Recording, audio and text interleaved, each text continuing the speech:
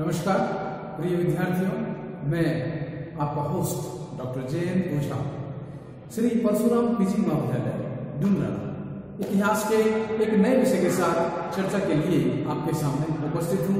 आज की हमारी चर्चा का विषय रहेगा भारतीय संस्कृति के मूलाधार।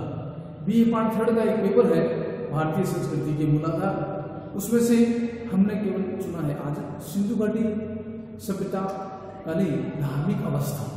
सिंधु घाटी सभ्यता के जो लोग थे, सिंधु घाटी सभ्यता के जो निवासी थे, स्त्री पुरुष जो थे, वो किस प्रकार के धार्मिक आयोजनों, कृत्यों, मूर्तियों, देवी देवताओं को मानते थे? क्या उनका विश्वास था? क्या उनकी परंपराएँ थी?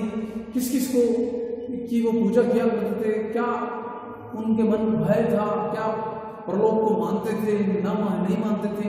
इन सभी प्रश्नों के उत्तर आज आपको मिलेंगे। पहले थोड़ा सा परिचय कर लेते हैं। कि भाई सिंधु घटी सभ्यता कहाँ तक फैली थी? सिंधु घटी सभ्यता के निर्माता कौन थे? सिंधु घटी सभ्यता जो है विस्तार कहाँ तक था? कहाँ कहाँ तक फैली हुई थी? सिंधु घटी सभ्यता जो है वो उन्नीस सौ बीस और उन्नीस सौ बाईस में क्रमशः सर, जॉन मॉर्सल के नेतृत्व में जो थे, दयाराम साहनी राखलदास बनर्जी, इन्होंने जो है खोज की थी। इसका दूसरा नाम हड़प्पा सभ्यता और संस्कृति भी है।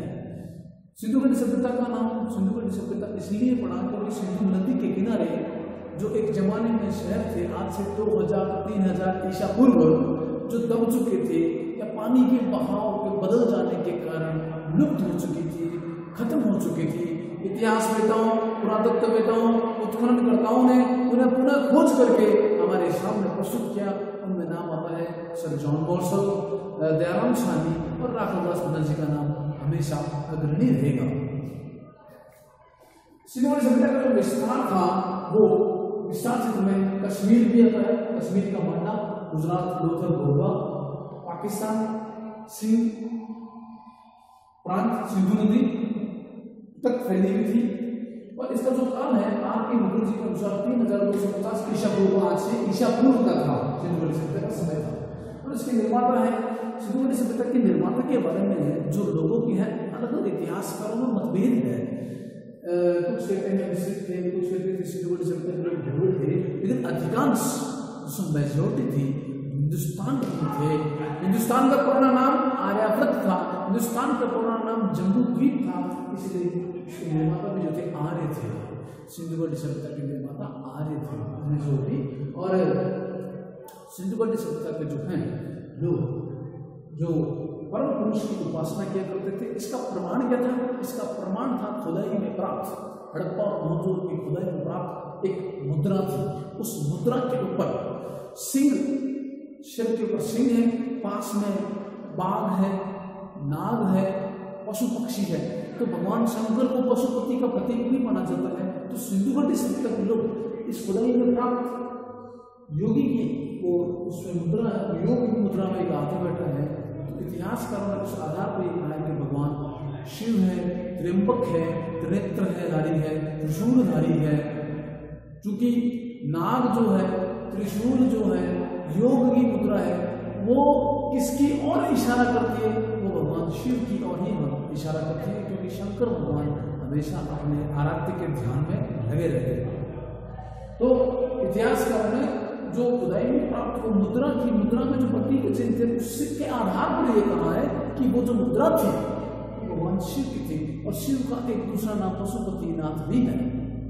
तो इस खुदाई में प्राप्त उत्खनन के आधार पर उन्होंने कहा कि भाई जो थे सिंधु सभ्यता के जो लोग थे परम पुरुष के रूप में भगवान शिव की पूजा किया करते थे और घटी सभ्यता के लोग, वो लोगों के जनमानस में नारी का क्या महत्व था? नारी का भी बड़ा महत्व था, नारी की पूजा की करते थे घटी सभ्यता में प्राप्त जो मूर्तियाँ प्राप्त हुई उत्खनन में जो मूर्ति प्राप्त हुई थी वो वो लोग घटी सभ्यता के लोग जो है, नारी को, पृथ्वी देवी के रूप में पूजते थे प्रकृति के रूप में प्रकृति के रूप में पूजा करते नारी का माता जननी जन्म भविष्य उनको पूछते थे नारी अनेक मूर्तियाँ मिलने के आधार पर ये पुरातत्ववेत्ताओं ने कहा, अनेक मूर्तियाँ मिली हैं।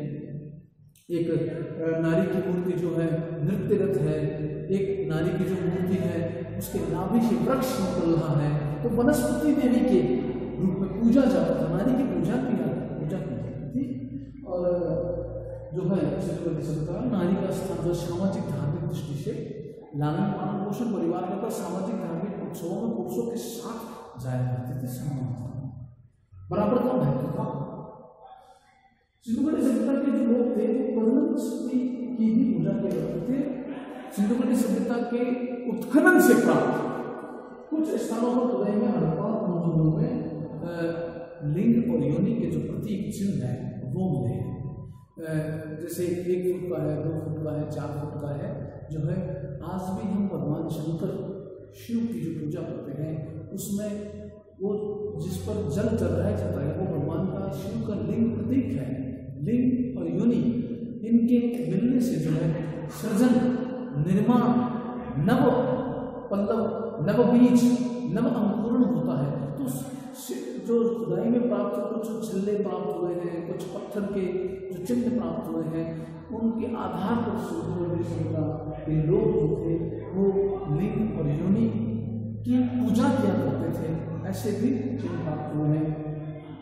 अब उनको का भी उनको पता था। वृक्ष पूजा सिंधुगढ़ सभ्यता के जो लोग थे कौन कौन से पेड़ पौधों की पूजा किया करते थे।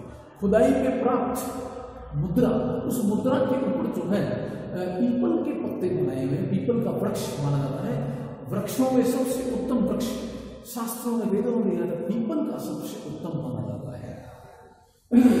पीपल, मुद्रा पर भी पीपल का वृक्ष पूजनीय माना जाता है। सिंधुगढ़ सभ्यता के लोग पीपल की पूजा भी करते थे पीपल के अलावा जो है सिंधुगढ़ सभ्यता के लोग पीपल के अलावा जो है, तुलसी भी तुलसी नीम बबूल और खजूर के जो है, वृक्षों की जो है, वनस्पति के रूप में भी सिंधुगढ़ सभ्यता के लोग है, पूजा किया करते थे अधिकांश पीपल के पत्तों पे जो है, वो साक्ष्य हमें मुद्राओं पर मिले हैं। वृक्ष पूजा के साथ साथ सिंधुगढ़ सभ्यता के लोग जो है, वो पशु की भी पूजा कहते पशुपतिनाथ योगी की मुद्रा, हमने देखी अनेक अलग अलग स्थानों से जो मुद्राएँ प्राप्त हुई। कुबड़ वाला बैग बैल जो है, उसकी मुद्रा प्राप्त हुई। मुद्राओं के न केवल कुबड़ वाले बैल की मुद्रा प्राप्त हुई, अलग अलग स्थानों पर, मूर्तियों पर मिट्टी के बर्तन के ऊपर, मुद्राओं के ऊपर कौन कौन से जो थे सिंधुगढ़ सभ्यता के जो पशुओं के अंकन मिला है, उसमें बैल है, भैंसा है, नाग है, हाथी है, बाघ है, भेड़ है, बकरी है और हिरण है, तोता है, गिलहरी है, मोर है, घड़ियाल है, ऊँट है। इन पशुओं को वो पालते भी थे, इनकी पूजा भी किया करते थे और इनका जो है, चूँकि आज का ज़माना तो जो है, यातायात के साधन बहुत हो चुके हैं। पहले जो यातायात के साधन थे, पशुओं के द्वारा होते थे, उनकी पूजा भी हो जाती थी उनकी जो है, पशुपालन भी हो जाता था। सिद्धवटी सभ्यता के जो लोग थे, अग्नि की भी पूजा, अग्नि देव की भी पूजा किया करते थे, अनेक देवी देवताओं को मानते थे, उनमें से अग्नि का भी विशेष स्थान है। खुदाई में अनेक ऐसे स्थान, स्थल प्राप्त हुए हैं, जहाँ पर एक साथ जो है कोयले, लकड़ी, मिट्टी दबी हुई पाई गई थी। उसे जो है पुरातत्व वेताओं ने इस आधार पर कहा कि यज्ञ वेदिका ही हुआ करती थी, जहाँ पर यज्ञ किया जाता था कर्मकांड किया जाता था। और स्नान का बड़ा महत्व था सुंदरगढ़ी सभ्यता में जो है विशाल स्नानागार मिले हैं, अनेक जो है, तालाब, कुंड और जलाशय मिले हैं। तो हमारे शास्त्रों में आज भी ऐसे मंदिर होते हैं। या जो कोई बद्रीनाथ है, केदारनाथ है, जगन्नाथ है, द्वारिकापुरी है। तो मंदिर में जाने से पहले, मंदिर में जाने से पहले शरीर को पवित्र करना आवश्यक था। ऐसा कुछ वहाँ सिंधुगढ़ी सभ्यता के लोग भी किया करते थे, उसका प्रमाण हमें मिला इसमें। स्नान का भी बड़ा महत्व था। देवताओं का नदी नदी को भी जो है, देवी तमें नदी की पूजा की जाती थी।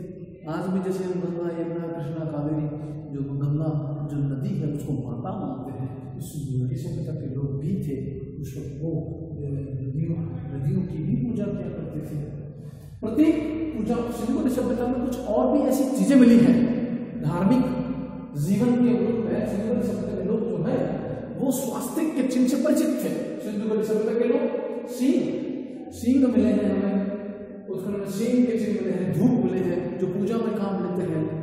धूपम, दीपम नैवेद्य धूप मिला है दीप मिला है, स्तंभ मिला है। इसके आधार पर वेदों में ये कहा कि सिंधु घटी सभ्यता के लोगों का धार्मिक जीवन जो है, उसमें कुछ प्रतीक चिन्ह भी थे।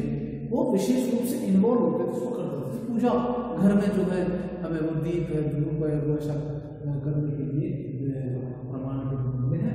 सिंधु घटी सभ्यता की लोगों की जो धार्मिक प्रथाएँ थी, परंपराएँ थी, वो आज के हिसाब से कुछ है बेजोड़ थी।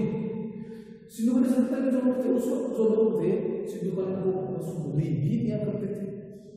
पशुओं के कंकाल मिले हैं पास में। मंदिर में भी जाया करते थे। मंदिरों के प्रमाण मिले हैं मूर्तियों के प्रमाण संगीत और नृत्य जो है, उसका प्रमाण मूर्तियों, जो खुदाई में प्राप्त जो स्त्री की मूर्तियाँ हैं, वो नृत्य रथ मूर्ति है। और नारी की मूर्तियाँ हैं तो उनको उपासिकाएँ और देवदासियों के रूप में दर्शाया गया है।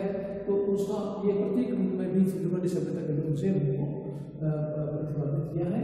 सिंधु घटी सभ्यता के लोग जो थे, एक परंपरा में देखते हैं कि परलोक में विश्वास करते हैं कि आदमी उनके मरने के पश्चात जो है जब मरने के पश्चात जब स्वर्ग में जाएगा अपनी तो उसको उस रास्ते में कोई बाधा नहीं आए प्रॉब्लम ना आए। जैसे मान एक आदमी अपने घर से एक हज़ार किलोमीटर दूर कहीं जाता है, यात्रा पे जाता है, बहुत दूरी पर।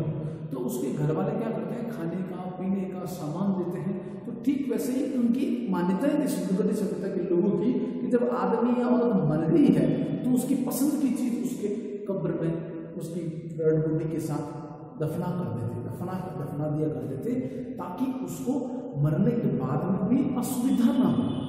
जैसे इसमें हमने खुदाई में क्या कहते थे सिंधुगढ़ सभ्यता के जो लोग थे, कब्र में मरे मृत्यु जब किसी की स्त्री को मृत्यु जाती थी तो उसकी कब्र में साथ में पशु को, उसका जो प्रिय था, पशु था, या पक्षी था, या आभूषण है, या बर्तन है, उनको भी दफना दिया करते थे।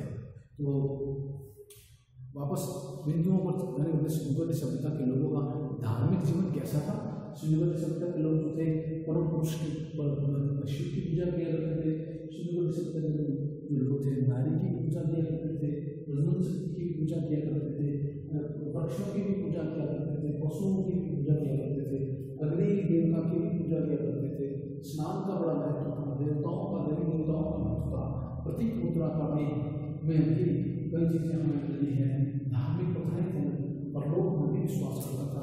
तो इस प्रकार हमने जाना कि सिंधु की थे उनकी धार्मिक दशा क्या थी? एक नए विषय के साथ कल फिर हम चर्चा करेंगे। तब तक के लिए देखते रहिए। श्री परशुराम पीजी महाविद्यालय यूट्यूब चैनल और फेसबुक पेज धन्यवाद। जय हिंद।